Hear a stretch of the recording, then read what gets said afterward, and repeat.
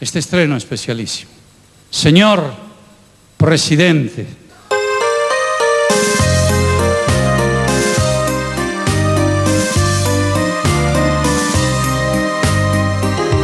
yo soy un ciudadano común y corriente, solo tengo un voto que usted me ha pedido como a tanta gente a la que ha convencido. Y yo se lo he otorgado esperando confiado a que llegue ese día en que vea cumplido al pie de la letra lo que ha prometido.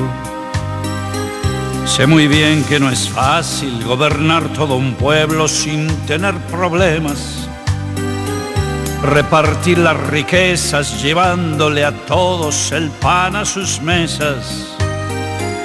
Y vamos a esperar que usted pueda lograr, sin hacer excepciones, que a la cárcel irán los que deben pagar todas sus corrupciones.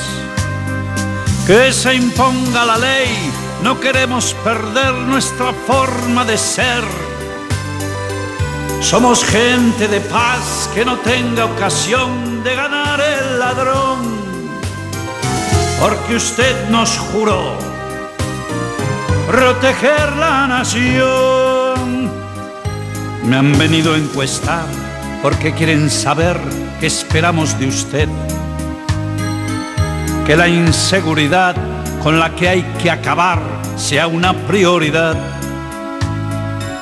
no sigamos igual, esto va para mal, hay que entrar en razón.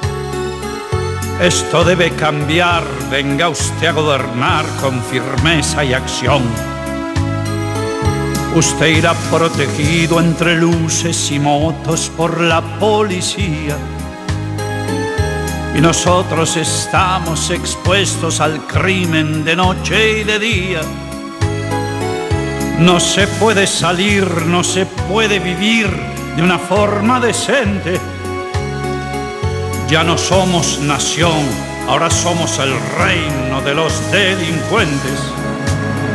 Que se imponga la ley, no queremos perder nuestra forma de ser. Somos gente de paz que no tenga ocasión de ganar el ladrón porque usted nos juró proteger la nación. Cuando llegue a mandar, no solo ha de ayudar a los de su partido, no se quiera quedar para toda la vida como un elegido. No se deje llevar por esa tentación de cambiar la nación y arreglar a su hechura y a su conveniencia la constitución. Y ahora solo le pido que mi humilde voto no caiga en su olvido. Cuando asuma el poder, tiene a mano la gloria y entrar en la historia. No nos mienta jamás, no use la demagogia engañando a la gente Cumpla usted con honor, va con todo respeto, señor presidente.